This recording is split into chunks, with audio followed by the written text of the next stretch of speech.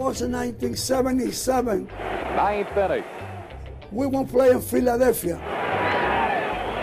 Ground ball, short hop. Steve Baker is out, one down. Nine innings, we were losing by two runs. Change up, ground ball, second base, two out. Oh, well, let me tell you, that happened.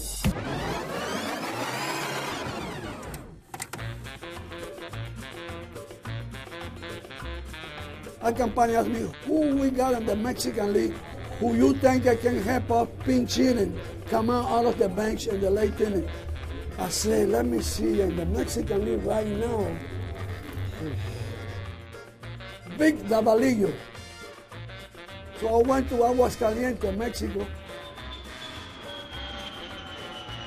Talked to the general manager of the team. I would like to make a deal with you with Davalillo. How much you want for him?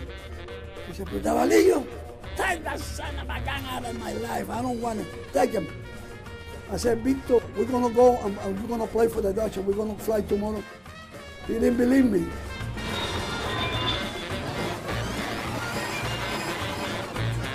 Two down in the ninth inning. Vic Davalillo will come out to bat. That's all that took Davalillo to pinch hit it. Then boom, he laid down a bunt. Bunt single.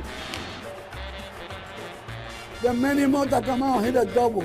Fly ball deep left, double for Manny Mota. David Lowe come out and make a single. Davey Lopes game on the line. Ground ball off net to Bowa. A throw. Yes. No. Not in time. This game is tied. We won that game. The Dodgers win it by a score of six to five.